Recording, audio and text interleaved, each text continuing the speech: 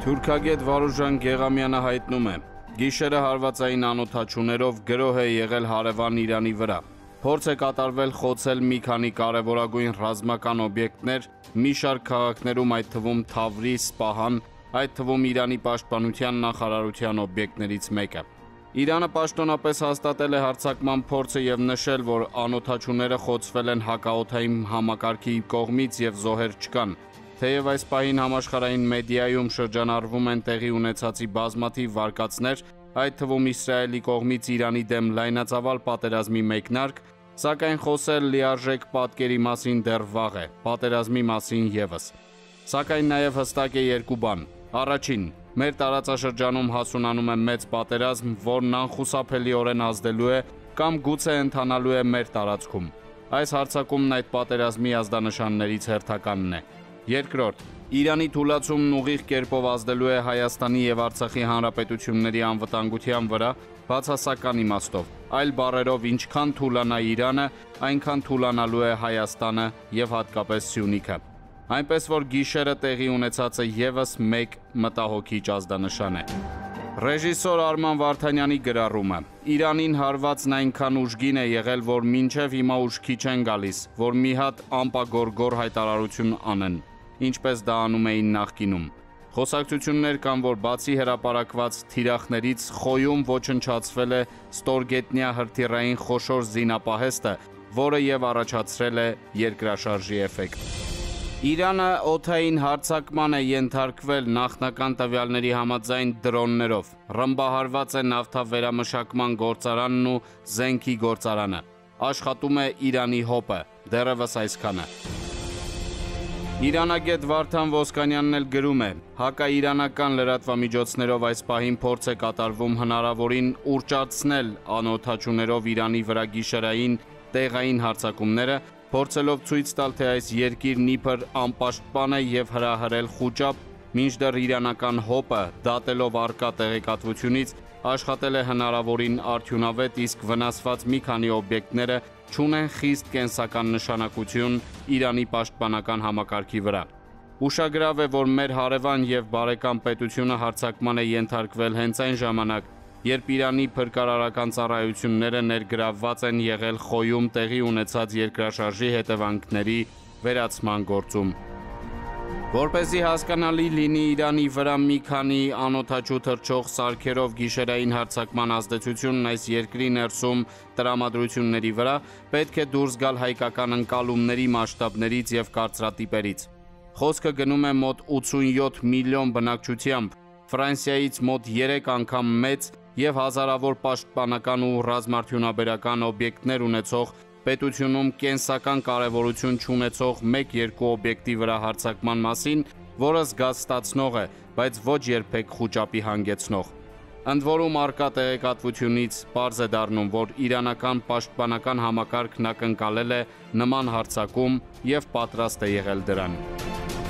Իրանի Սպահան քաղաքում ուժգին պայթյուն է որոտացել, այս մասին հայտնում է Իրնագործակալությունը։ Միջադեպը տեղի է ունեցել Իսլամական հեղափոխության պահապանների կորպուսի զինամթերքի արտադրության կենտրոններից մեկում, հայտնել է Սպահանի նահանգապետարանի քաղաքական անվտանգության հարցերով տեղակալը։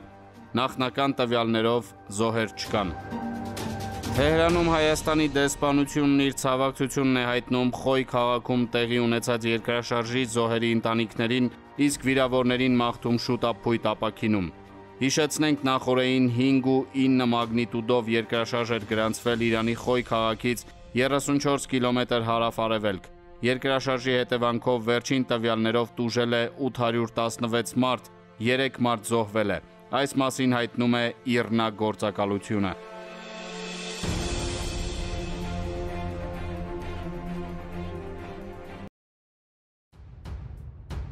Հայաստանի հակառակորդները Ֆրանսիայի հակառակորդն են, հայտարարել է Ֆրանսիայի ներքին գործերի նախարարը, որը մասնակցել է Ֆրանսիայի հայկական կազմակերպությունների ամենամյա ընթրիքին եւ ներկայացրել Ֆրանսիայի նախագահ Մակրոնին։ Պարզ չէ թե այս անգամ Ֆրանսիայի նախագահն ինքը չի մասնակցել ընթրիքին, որին նախկին տարիներին բարբերաբար ունեցել է մասնակցություն եւ իհարկե Ֆրանսիայի նախկին նախագահներն էլ այդ մասնակցությունն ունեցել են։ Նախորդ տարի նախագահ Էմանուել Մակրոնն ընթրիքին չէր մասնակցել, որովհետև Ուկրաինայի շուրջ թեժացող իրավիճակի առնչությամբ բանակցության էր մեկնել Մոսկվա Պուտինի հետ հանդիպման։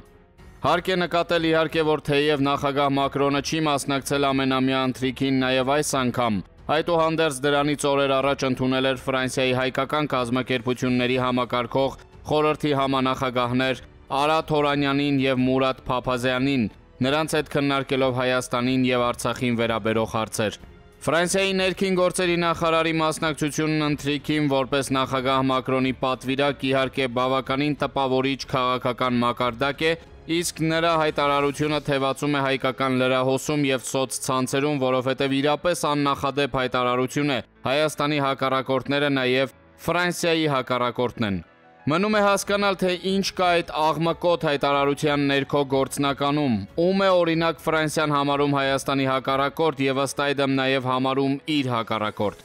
Առաջինը, որ կարող է նշվել իհարկե Ադրբեջանն է։ Մի քանի օր առաջ նախագահ Մակրոնն ընդունել էր Ֆրանսիայում Ադրբեջանի նոր դեսպանի հավատարմագրերը եւ նրա հետ հանդիպմանը խոսել Ֆրանսիայի համար Ադրբեջանի կարևոր գործընկերային նշանակության մասին։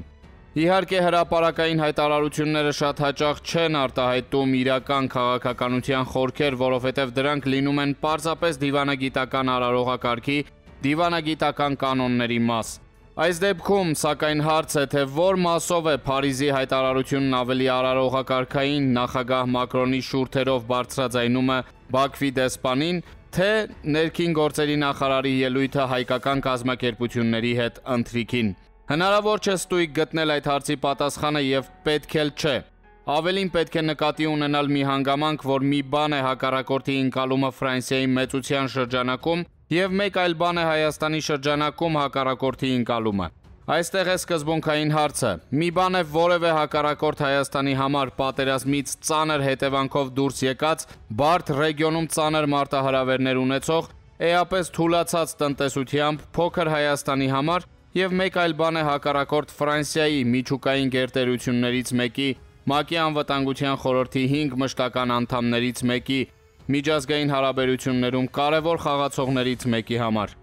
Ըստ այդմ դա ենթադրում է արդեն լիովին տարբեր քաղաքականություն հակառակորդների հանդեպ։ Նույն հակառակորդի հանդեպ, եթե անգամ տեսականում դիտարկում ենք դա, ելնելով ներքին գործերի նախարարի ելույթից։ Հայաստանը ունի մի քաղաքականության եւ անելիքների խնդիր։ Ֆրանսիան ունենալու է բոլորովին այլ քաղաքականություն եւ վարքագիծ։ Ըստ այդմ ծայրահեղ միամտությունը լինելու մտածել կամ կարծել, թե Ֆրանսիան Հայաստանի հետ ուսուսի կռվելու է նրա նույն հակառակորդի դեմ։ Այդ ընկալումները կլինեն Ֆրանսիայի տրամաչափին խիստ անհամարժեք, հետևաբար ոչ թե կօգնեն այդ տրամաչափի կրող Փարիզի հետ Հայաստանի արդյունավետ հարաճուն երկխոսության ձևավորմանը, գործընկերային հարաբերությունների եւ ջերմ բարեկամության խորացմանը, այլ հակառակը կբերեն հիասթափությունների։